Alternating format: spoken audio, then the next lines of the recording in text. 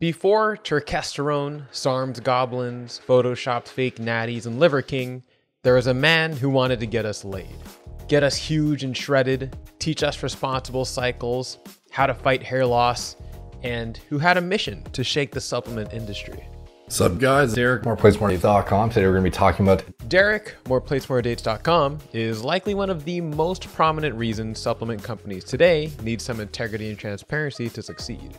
Derek is the mind behind two well known products. The first product carrying the same name as the company, Gorilla Mind, is a nootropic product to boost focus and productivity. It was eventually retired. The non stim weaker version, Gorilla Mind Smooth, is still available. The second product, the Industry Shaker, contains a formula that no competitor can match at the time of its release Gorilla Mode Pre Workout. At the time of release, I've personally never had a pre workout as expensive as Gorilla Mode. Uh, neither did I care at the time, right? So once a month, I would go to Walmart and I would buy Mr. Hyde pre workout. Uh, it tasted good, it made me feel tingly. It had beta alanine in it, and I had no idea what it did, but it was in there. It was a 30 serving pre workout for less than $20. I think Walmart sells it for like 17. Why would I want to buy what I thought was the exact same product for 50 bucks? What a bunch of suckers everyone is, I thought. Obviously, I was an idiot. If I used the little 7 gram scooper from Mr. Hyde, but with Gorilla Mode, I would have gotten a better experience with pre workout and it also would have been cheaper.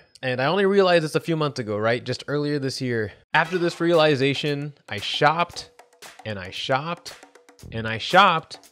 I looked at every pre workout I could find. Either it was one I knew of for a long time, one being shoved in my face by an influencer, or even an Instagram ad.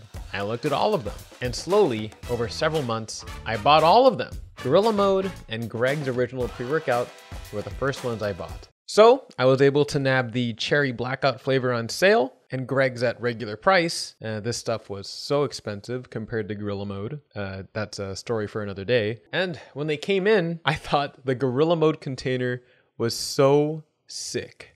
It's textured, the colors are pleasing, and the finishes differ between matte, gloss, and metallic. If I put Mr. Hyde in this container, I would at least be placeboed into the gorilla mindset. So I started using both of them, one scoop and a Rice Krispie treat. I'd alternate between them, Tuesday Gorilla Mode, Wednesday HTLT, Thursday Gorilla Mode, Saturday HTLT, Sunday Gorilla Mode. And then after only a week of testing, I was amazed. After years of using what was basically Holy just flavored horrible. caffeine, I experienced the best pumps I've ever had in my life and workouts where I felt strong and focused on what was in front of me the weights. After that first week of testing, it was the start of a new training week. So I upped the dose to two scoops, which is what the supplement facts shows. So two scoops is the full dose. Tuesday, two scoops of HTLT. Wednesday, two scoops Gorilla Mode. You get the gist. And after the end of that week of testing two scoops, I discovered two things. One, the full two scoop dose of these pre workouts wielded huge benefits, even compared to the one scoop one. And two, I actually preferred Gorilla Mode over Greg's. There could be several reasons for this. I'm not sponsored or anything. I'm not being paid. This is just a real life consumer user. That's me. Um, but the reasons that I come up with are one, as I stated earlier, possibly placebo. I didn't say placebo, but um, basically the marketing, the branding, the container, uh, the athletes behind Gorilla Mode um, could have influenced how I felt about the product. It would be in the morning, and I would be scooping my Gorilla Mode into my shaker uh, cup bottle thing. And ju- just the way that the Gorilla Mode container looks is enough for me to feel good about using it. But with Greg's container for his first pre workout, it was extremely bland. Even my dad agreed that Greg's pre workout container was bland. In fact, I'm pretty sure um, Greg originally showed this pre workout with like a different lid that said HTLT on it and was yellow. And now it's just like really bland.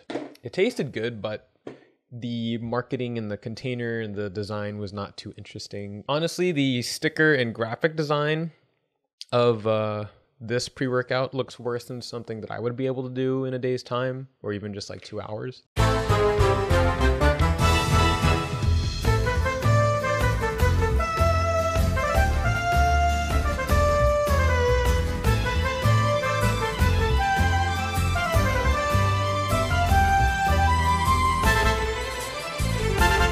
And then another reason is it's possibly true that Gorilla Mode is just formulated better.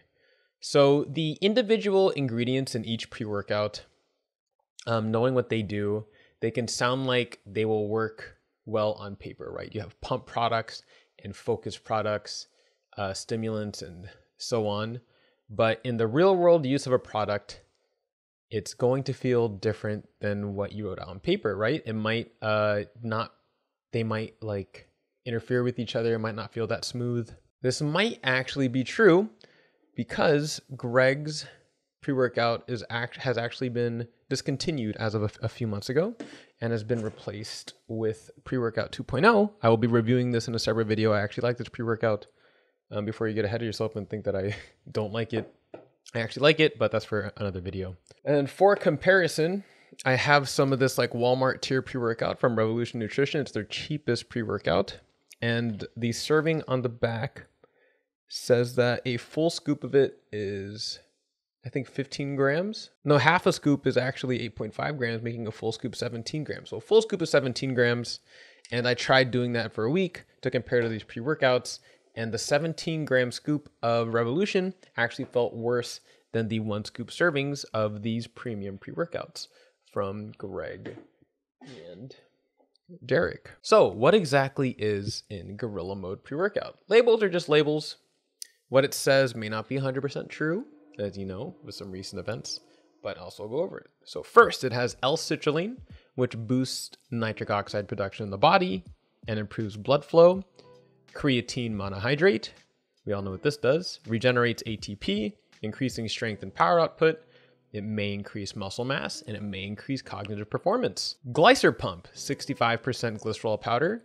When glycerol is in the blood, it attracts water, making water stay in the body longer um, which means you can exercise for longer and also get a sick pump. Malic acid has anti fatigue and endurance boosting benefits. Betaine anhydrous assists in rehydration of cells and improves endurance. L-tyrosine improves focus and elevates mood. Agmatine sulfate boosts nitric oxide production, elevates mood, and may increase pain tolerance. Kanna lowers stress, elevates mood, and increases focus. Caffeine anhydrous increases power output, lowers fatigue, and may increase cognitive performance. And phenylethyl dimethylamine citrate mimics actions of adrenaline, noradrenaline, dopamine, and serotonin. BioPerine prolongs breakdown of the cognitive enhancing ingredients in the formula, which extends how long they work for and increases the bioavailability of them. Um, in short, Derek said that it just makes stimulants hit harder and last longer. Huperzine A enhances memory, focus, and overall cognitive functions. It is one of the most potent nootropics on the market, and according to Derek, complements the rest of the formula perfectly. And this touches on one of the reasons why I thought that Gorilla Mode might be better than the first um, HTLT pre workout.